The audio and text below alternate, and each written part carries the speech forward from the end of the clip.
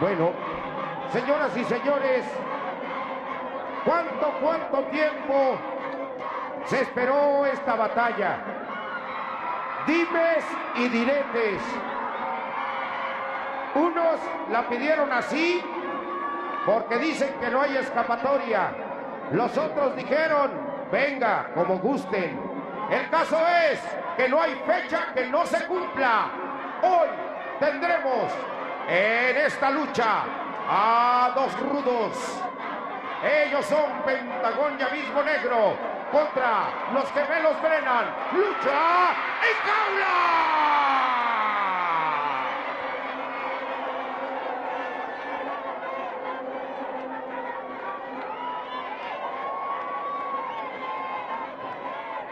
que bajen la jaula. Que la bajen.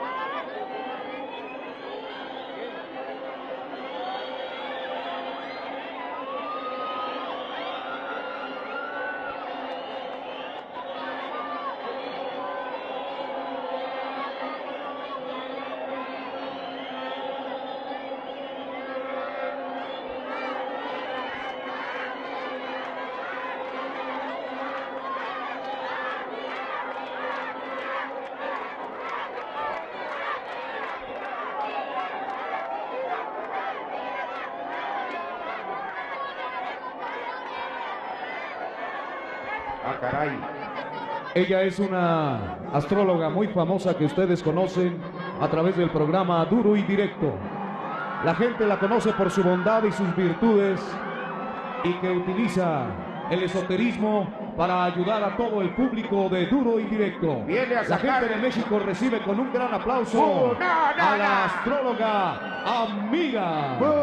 Viene a sacar el chamuco del cuadrilátero No me voy. para que solamente haya buenas No, vibraciones no, no, no, ¿qué en es favor eso? de los técnicos. ¿Qué es eso? No, no, Aquí está, mira, viene el tirante. El tirante dice que no puede estar. Claro.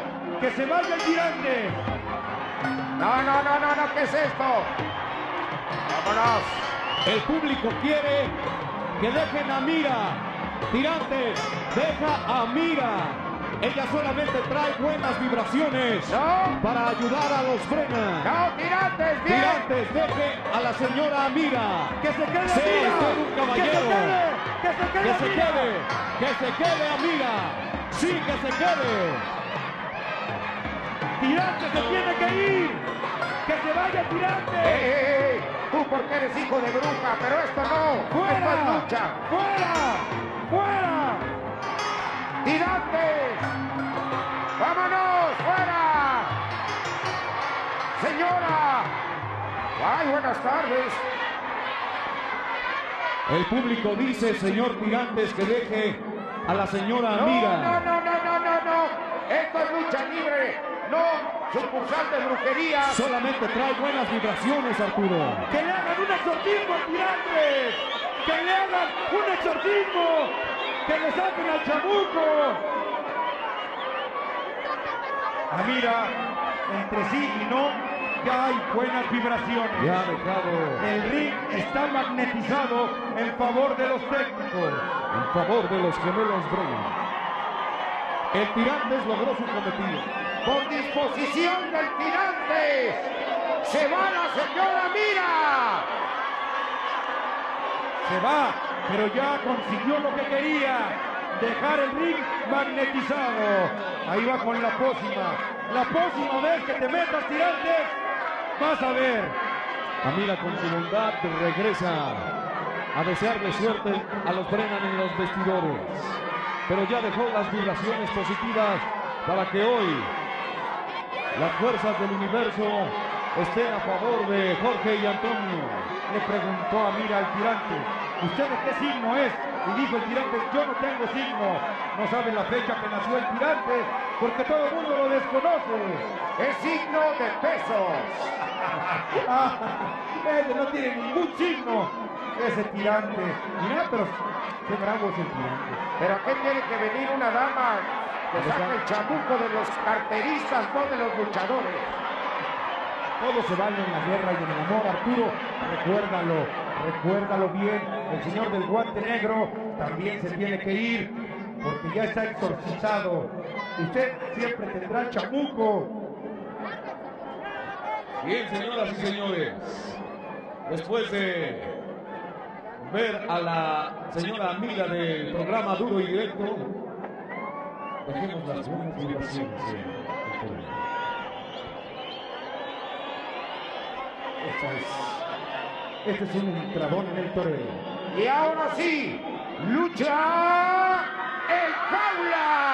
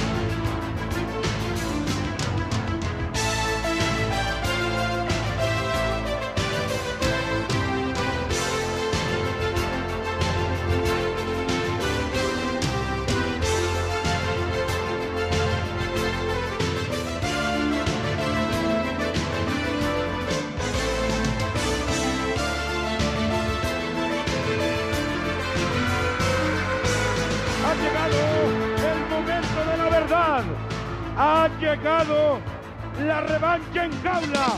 En una batalla de exhibición aparecen dos jóvenes que se han preparado. Su maestro, Pepe Pepe Tropicazas. Nuevamente viene a Mira, siguiéndole los pasos a estos dos luchadores. Dos hombres del programa, duro y directo. Aquí los tenemos ya.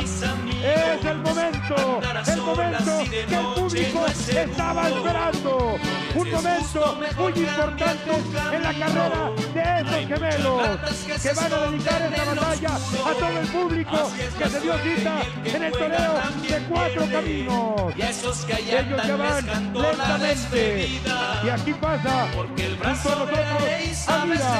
Aquí pasa dando, dando la buena vibra a estos gemelos. Esta es la lucha que ha causado expectación. Esta batalla es en la revancha. Hay que recordar lo que pasó en Ciudad Madero cuando los gemelos le ganaron a Mismo Negro y a Pentagón. Pero como estos gemelos son unos caballeros, están dando la revancha. Ellos quisieron que fuera en y aquí están las condiciones.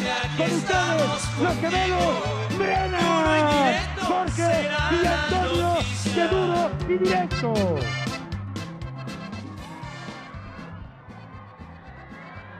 Señoras y señores, la fecha se cumple, la revancha en México. Jorge y Antonio, los hermanos Brennan, en lucha de desafío, en lucha de desempate, en lucha de revancha en jaula.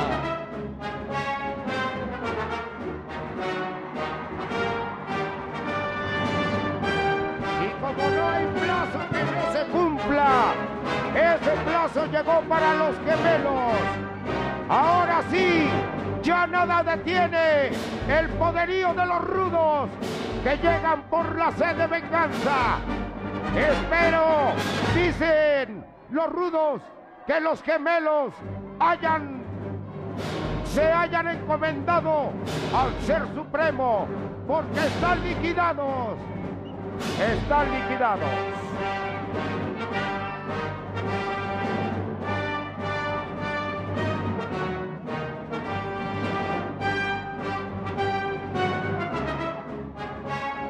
Sí, señoras y señores, los Rudos y los Vipers se han reunido para ganar una lucha que tiene que ser saldada con honor, con dignidad. Que los Rudos y los Vipers solamente en su mente tienen la victoria.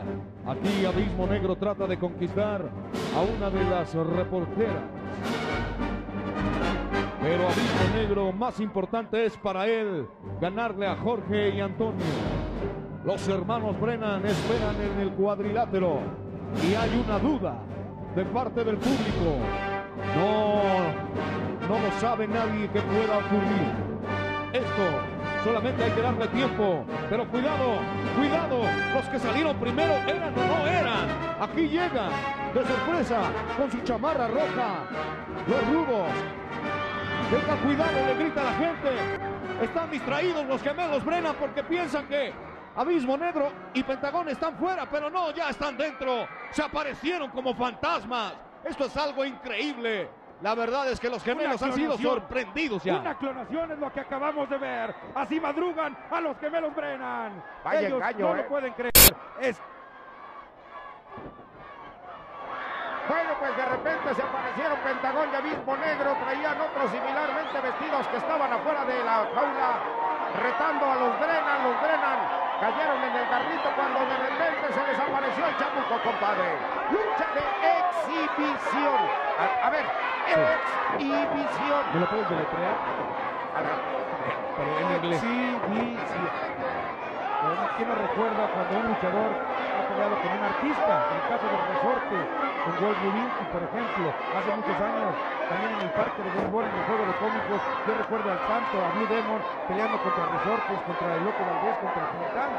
Y aquí, en una lucha de exhibición, se presentan en el toreo. Los hermanos, los hermanos Jorge y Antonio Brennan sobre la plataforma recibiendo un duro castigo después de una sorpresa que nadie se lo esperaba, absolutamente nadie. Con la moda de los clones y la alta tecnología, los rudos y los Pipers sorprendieron a Jorge y Antonio. ¿Sabes lo que a mí me, me, eh, me hizo dudar algo? Ve la máscara de Pentagón es completa de la boca y el que salió no la tenía completa. Eso es lo que dije que, a ver, a ver, aquí hay algo, pero jamás pensé que era clonación. Oye, qué buena observación, ¿eh? Es más, este, desde el primer momento, ¿cómo conoces a tus luchadores rudos, eh? Pero la forma de que los De madrugan, caminar, por la forma de caminar. Sí, por supuesto, sí. Andrés. Sí, y el madruguete, esto no se va a quedar así, ¿eh? Ya llevan ventaja los rudos. Vamos a ver si los gemelos Brennan pueden regresar a esta batalla. Aquí está Jorge y Antonio. Qué buen movimiento logra para enganchar a Pentagón. Este es el público japonés que también visita porque duro, duro y directo es internacional. El Pepe de Tropicales les está dando indicaciones a los gemelos, está muy metido en la batalla, les dice cómo atacar. Exactamente, tiene que estar ahí muy de cerca cuidando los intereses de los gemelos Brennan, ayudándolos, conduciéndolos, siendo la inspiración, su conciencia prácticamente. Abismo Negro ocupado sorprende a uno de los gemelos. En esta toma observamos cómo la presa de muñeca el tirante martillo ahora. Aquí se prepara para engancharlo con esta yegua voladora que estupendamente logra Arturo Rivera. Muy bien, Jorge y Antonio se ve que no dejaron de entregar desde aquella que fue para el Teletón en Ciudad Madero. Se ve que han seguido trabajando y ahora uno de ellos se atreve a rasgarle la máscara a Pentagón. Se va uno de los gemelos. Nada.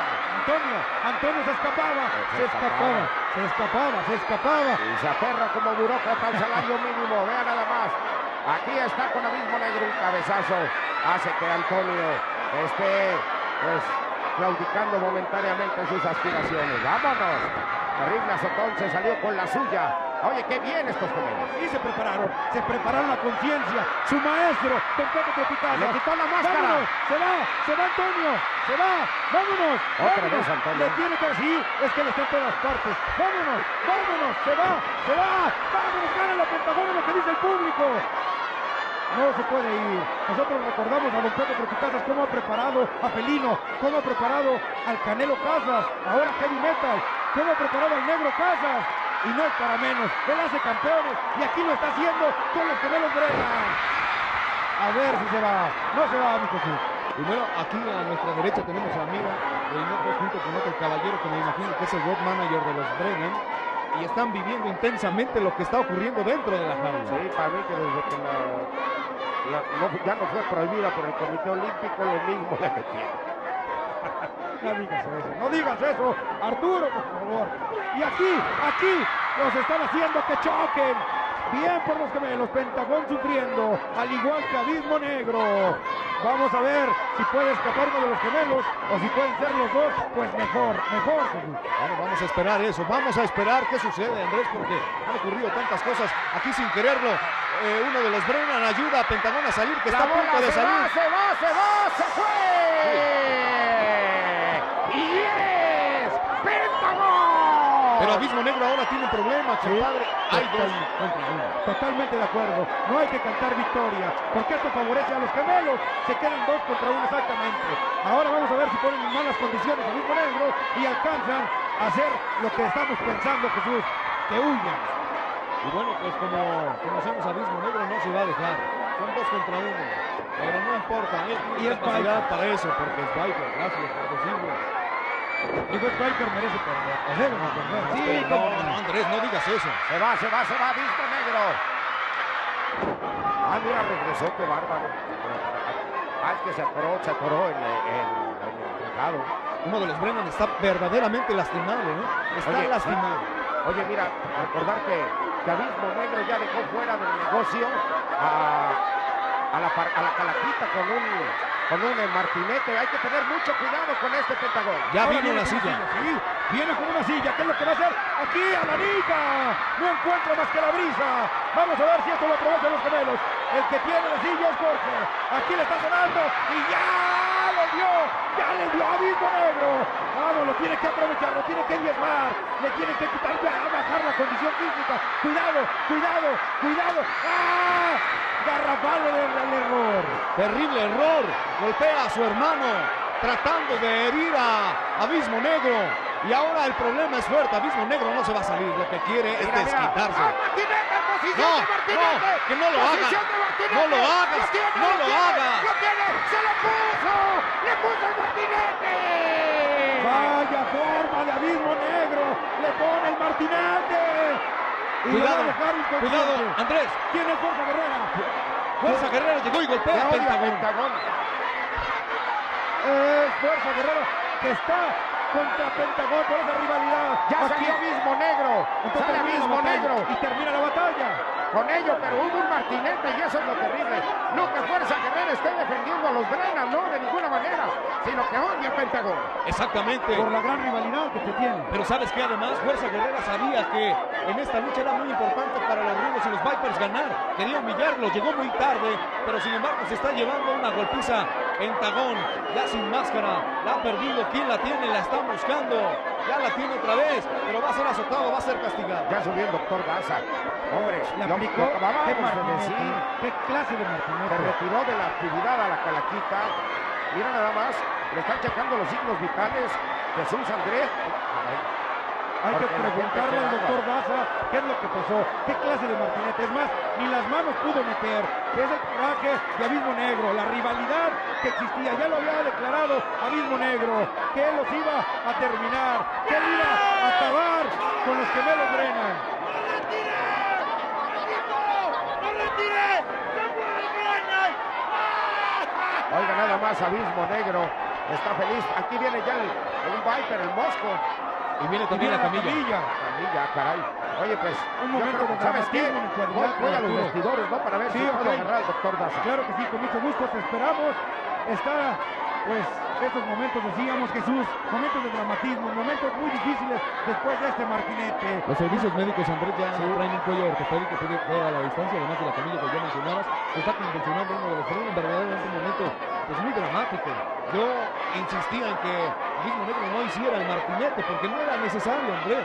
Sin embargo, Pues ya lo oíste, así son estos Así son los así son. No, tenía por qué hacer un martinete.